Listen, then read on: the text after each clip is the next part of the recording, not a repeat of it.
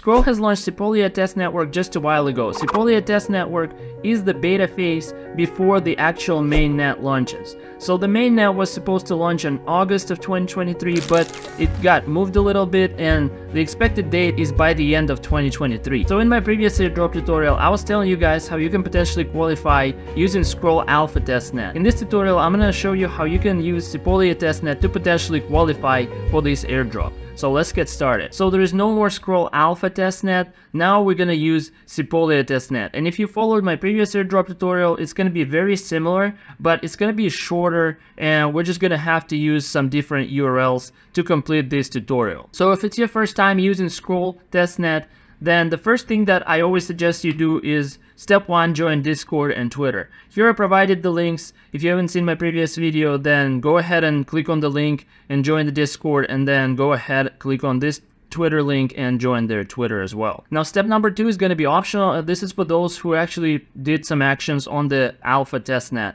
So this is going to be to remove alpha testnet and reset your MetaMask wallet if needed. So what you're going to do, you're going to go to your MetaMask wallet. And by the way, I don't need to do that because I'm on the new laptop. So I just imported my wallet. But if you use your wallet with Scroll Alpha Testnet, that's what you're going to have to do. You're going to go to your MetaMask. Once you're in your MetaMask, you're going to click on three dot menu or four dot menu and then you're going to click on settings. You're going to scroll down until you see networks and you're going to click on network and click on any network. Let's pretend that this is Alpha Testnet. So I'm going to click on that and it's going to open in the browser. Once you're in the browser, you're going to select whatever network you want to choose except for the ones that are locked. You can't remove those, but let's pretend that this is Scroll Alpha Testnet. What you're going to do, you're just going to click delete right here. After that, you're basically good to go to step number three. But if you see some errors, you're going to need to reset your MetaMask. So what you need to do, you're going to go through this URL and it's going to take you to this page. And here are the common errors that you might see when you're removing the old network and adding the new one. So if that happens, just follow whatever it says over here and hopefully you won't see any errors anymore. Step number three, if it's your first time doing this airdrop tutorial, then you're gonna need a wallet if you already have one. If you don't, then go to metamask.io right over here, click download and click install MetaMask for whatever browser you use and, and after that go through the setup process for your MetaMask. After that we're going to need to add Sepolia test networks for Ethereum and for Scroll as well. So there are multiple ways to do that but the easiest is probably going to be going to the Scroll portal. So what you're going to do, you're going to go through this link, which is scroll.io forward slash portal. Over here in the top right corner, you're going to click connect wallet and you're going to select your wallet. Click next and connect. After that, scroll a little bit down and over here, you will see that you have two networks, Ethereum Sepolia and Scroll Sepolia. And click add to MetaMask for both. After you click it, you're going to have MetaMask pop up and you're just going to confirm adding to MetaMask. I already done it, so I'm not going to do it again. Moving on to step number four. Now, since we're on Sepolia network, we're going to have to have some ETH for gas on Sepolia network and also for bridging and swapping. So what we're going to do, we're going to go through this link, which is sepoliafaucet.com. And over here, the first thing that you need to do, you need to log in with your Alchemy account. If you don't have one, just sign up. Otherwise, just click Alchemy Login and log in with your credentials or click sign up right over here if you don't have an account. It's pretty simple to set it up. All right, once logged in, what you're gonna do, you're gonna click on the MetaMask, you're gonna copy a wallet address, and you're gonna paste it right over here. You're gonna click I'm not a robot, you're gonna pass the test, and you're gonna click send me E. And you should see the screen looking like this, and it's gonna say that you're gonna get 0.5 Sepolia ETH. And you can request 0.5 Sepolia ETH every day, or probably every 24 hours, I should say. Now that we have Sepolia ETH, we're going to move to step number five, and that's going to be to bridge some ETH from Sepolia network to Scroll Sepolia network. So what we're going to do, we're going to go through this link, which is scroll.io forward slash bridge. And since we're already connected to scroll.io website, it should be connected but if it's not, just click right over here, connect wallet and select your wallet. And so we're gonna scroll down and over here, we're gonna have the bridge. So if it's your first time using this bridge, you should have Ethereum right over here and Sepolia right over here. I used it before, so that way it looks like this for me, but you can just switch it back to Ethereum to send from to Sepolia Scroll Network. So it's asking me to switch to Sepolia Network from Scroll Sepolia Network so if you're not on Sepolia network, make sure that you're on Sepolia network first. After that, you're going to enter some amount that you want to bridge, let's say 0.5. And you're gonna click send ETH to scroll Sepolia. Click confirm, and as you can see, it might fail. For me, it failed but don't worry, you can try again, just do the same. And when you click send ETH, and over here what we can do where it says gas, we can increase the gas limit. So what we're gonna do, we're gonna click on market and we can choose instead of market, we can select aggressive. After that, hit confirm. As you can see, send from Ethereum is success. All right guys, so I'm not gonna wait for it to finish because it's gonna take a little longer. I'm just gonna move on with this tutorial. The next step is gonna be step number six and we're gonna bridge the funds over in the opposite direction. So back on the bridge page, what you're gonna do, you're gonna click this switch button. And it's going to switch the network from Scroll Sepolia to Ethereum Sepolia. So let's click switch network in the MetaMask. Enter whatever amount of Ethereum you want to send over the opposite direction, but make sure that you enter just a little bit. That way you keep most of it in Scroll Sepolia. Click send ETH to Ethereum Sepolia, check the check marks, and click continue. Right, and the first transaction is success. And please note that it takes a while, maybe like about 10 minutes, I would say. And after that, this one is going to be pending. Please check back on this one. Once this is enabled, you'll be able to click claim, confirm in your MetaMask, and then finally it will get deposited to Ethereum Sepolia. As you can see from this transaction right over here, let me quickly show you.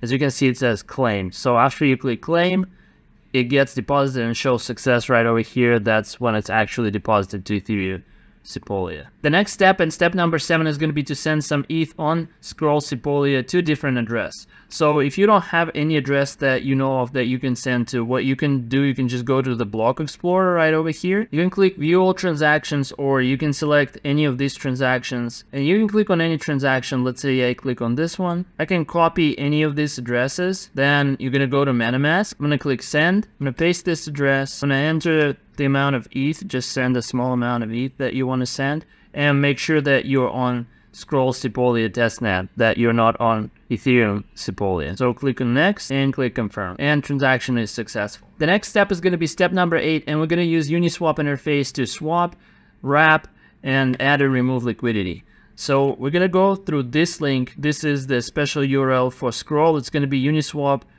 showcase.sepolia.scroll.xyz. Once you're on this page, click connect wallet in the middle and then select your wallet. Over here, you'll see that you only have Scroll Sepolia. There is no other networks. So you should be good here. And the first thing that we're going to do, we're going to wrap some Ethereum. So in order for us to wrap some Ethereum, what we're going to do, we're going to leave ETH right here. And from select token, we're going to select wrapped Ethereum. So we're going to put some amount. Here I would highly suggest that you also use a little bit higher slippage and also increase gas max gas fees. That way the transaction is not going to fail. So I'm going to click right here and I put 5. You can put whatever you feel like. After that, you're going to click wrap. And if the transaction is failing for you, what you can do, you can click on edit right over here. And you can change the gas limit. So right now it's at 32,000. You can like bump it up maybe to, let's say 35,000. And the gas price, you can also select, right now it's at 5, you can put 7 or something like that. And after that, you're going to hit save and you're going to click confirm. And if we open the transaction, you can see the transaction was successful. So if it fails, just increase the gas, increase the slippage, and you should be good. The next step is we're gonna swap it for some other tokens. So here they only have GHO, so we're gonna click on GHO. Again, I'm gonna leave the same amount of Ethereum. You can put whatever amount you want. You're gonna click swap. You're gonna click confirm swap and hit confirm. And transaction completed, so click close. The next step is gonna be to add some liquidity. So we're gonna click on pool tab right over here.